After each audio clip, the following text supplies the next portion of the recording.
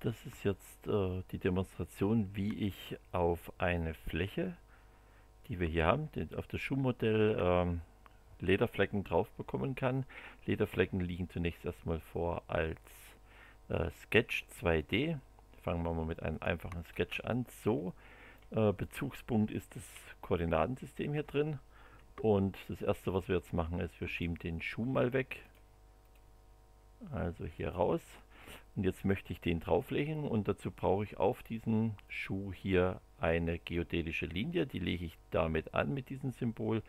Die liegt jetzt hier drauf und hat Startwerte und diese Startwerte sehe ich ähm, hier. Das ist einmal die, klippe ich mal rein, das ist die Position im UV-Koordinatensystem 50-50. Die könnte ich also jetzt ändern auf von mir aus 30-50. Da rutscht die weiter nach vorne.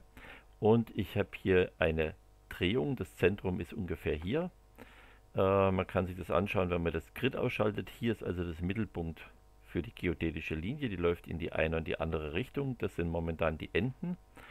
Und äh, ich kann den Winkel jetzt ändern. Ich könnte den Winkel also jetzt mal auf von mir aus 45 Grad drehen. Dann dreht sich das rum und das wäre jetzt eben schrittweise möglich. So, äh, jetzt möchte ich dieses Stück Leder in dieser Form hier drauflegen, dass der Mittelpunkt, also das was hier ist, genau an diese Stelle kommt. Dazu wähle ich dies, den Sketch aus. Ähm, hier die geodätische Linie und so Objekt drauflegen. Dann liegt es hier drauf. Ich kann jetzt auch die Bounce mal ausschalten. Dann sehen wir das hier oder den V-Bound und U-Bound wieder ein. Dann liegt es hier drauf. So, das nächste, was ich machen kann, äh, das dauert natürlich alles eine gewisse Zeit. Ich kann die Feinheit äh, des Grids hier einstellen. Den Grid, den wir jetzt hier haben, der ist mit einer Genauigkeit von 2 mm eingestellt. Das ist diese Zahl Grid Size hier. Ich blende das mal aus, da sieht man das besser. Wenn ich jetzt diesen Grid Size hier verändere auf zum Beispiel 40, dann wären das 4 mm Raster und dann ist es gröber. Man sieht dann hier auch größere Abweichungen, aber es geht wesentlich schneller. Ich kann das genauso gut jetzt wieder zurücksetzen, könnte von 40 auf 10 gehen und dann dauert die Berechnung hier einige Zeit. So, das ist jetzt fertig. Das heißt, für den Schnellentwurf gehe ich hier auf einen großen Wert, 4 mm, also sprich 40 oder noch mehr, 10 mm äh, wäre der Wert 100 und wenn ich das dann später genauer brauche, dann kann ich hier auf 10 gehen, bedeutet 1 mm oder ich gehe auf 1, bedeutet 0,1 mm. Äh, von 10 auf 1 zu gehen, bedeutet dass die Rechenzeit sich verhundertfacht. Gut, das wäre jetzt der erste Teil. Ähm, hier ist nochmal der Schuh. Wir machen jetzt mal weiter. Ich nehme jetzt einfach von dem Schuh, mache ich eine Kopie. Und den nenne ich mal jetzt AAA. Kann jetzt den zweiten Schuh von der Stelle mal woanders hin verschieben. Äh, arbeite auf dem anderen Schuh weiter. Hier blende ich das mal alles aus. Sketch-Symbol nehmen wir auch weg. Wir nehmen mal an, das nächste, was wir haben, ist hier so ein Lederstreifen und diesen Lederstreifen, der ist mit 45 Grad abgeschnitten. Der soll jetzt hier so schräg über den Fuß drüber laufen. Dazu erster Schritt wieder auf dem Schuh ein Patch drauf, ein, eine geodätische Linie drauf. Wir stellen für die geodätische Linie, die wir hier haben, den Winkel jetzt mal auf 135 Grad. So, ich blende das Grid jetzt auch mal aus. Dann haben wir nur noch diesen Effekt. Jetzt wähle ich den Sketch 45 aus. Ich wähle hier die geodätische sage bitte abbilden. So, dann dauert das einen kleinen Moment. Das Objekt ist jetzt hier schon etwas größer. Und schon sind wir fertig. Und damit man mal sieht, was wir gemacht haben, legen wir hier mal ein Gitternetz drüber, also Kurve ein Map auf die Face. Von dem Map brauchen wir nicht allzu viel. Wir können das zwei, die 2D-Ableitung abschalten. Wir können das Center abschalten. Das reicht eigentlich und ich schalte jetzt den Volumenkörper vom Schuh aus. Wir vielleicht doch an. Und da sehen wir, hier ist die Mittellinie und der Flicken, der liegt jetzt genau in diesem Winkel 45 Grad drauf.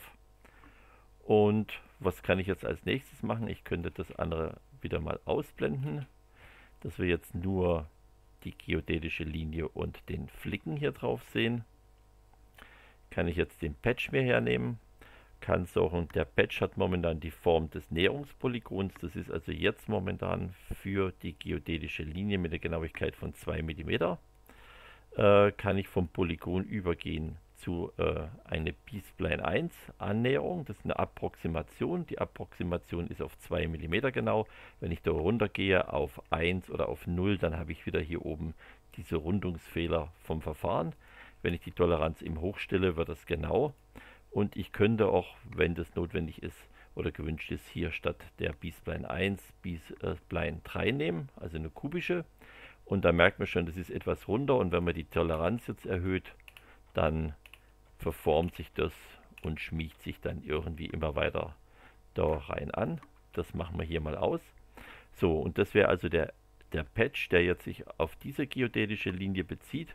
Und ich könnte den natürlich dann auch verschieben, indem ich die geodätische Linie verschiebe. Also wir von hier aus sagen wir mal äh, U-Position gehen wir jetzt von 50 auf 30, also auf den Vorderfuß.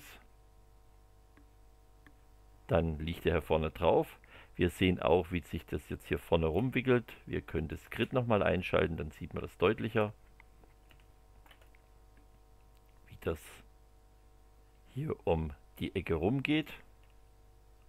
So, und jetzt kann ich mehrere Modelle also auf verschiedene äh, Schuhe drauflegen. Ich könnte auch alles auf 1 drauflegen. Das heißt, ich kann jetzt hierher gehen und kann sagen, ich mache den nächsten Patch hier drauf. Dann liegt er wieder drauf, nehme mir den nächsten nächste Muster her. Das wäre zum Beispiel jetzt das hier, ein Quadrat um Koordinatenursprung, den und geodätische Linie und dann Patch draufkleben. Und ich kann von der geodätischen Linie das hier alles wieder ausschalten. Dann sehe ich meinen Patch hier liegen. Hier ist die Linie, dieser Patch. Wollen wir uns das auch nochmal anschauen von Format Polygon auf B-Spline 1. Da passiert zunächst nichts. B-Spline 3 haben wir die Abrundung und wenn wir die Toleranz jetzt runtersetzen, alter Wert, wenn wir die Toleranz hochsetzen, dann entwickelt sich das Ganze zu irgendetwas Kreisähnlichem. Was wir auch machen können, ist, dass wir äh, von B-Spline 3 umschalten auf äh, Face Curve. Dann ist es eine Kurve, die jetzt nicht im Raum angenähert ist, sondern zusätzlich nochmal auf die Fläche drauf projiziert ist. Äh, die sieht natürlich schöner aus, kostet allerdings auch mehr Rechenzeit und das Datenvolumen für die Kurve ist größer. Oder ich kann im Ganzen was sagen, ich möchte eine Fläche haben und wenn ich die Fläche mir ausrechnen lasse, dann dauert das wieder ein bisschen. Nochmal anstoßen und dann sehen wir, wir haben jetzt hier die Fläche entweder so oder eben, es ist ja immer eine Frage der Richtung, äh, wenn ich hier auf Reverse gehe, dann habe ich die Fläche so aufgelegt. Die beiden Methoden, die man braucht, ist einmal diese Methode erzeuge eine geodätische Linie und die zweite ist erzeuge einen Patch auf der geodätischen Linie. Die liegen momentan beide noch hier drin. Äh, create Geodesic und äh, Geodesic Map Patch to Face. Die beiden, das Layout der Ereignis muss noch ein bisschen verbessert werden. Die sieht man jetzt mit dem Hintergrund nicht. Aber im Wesentlichen ist es das.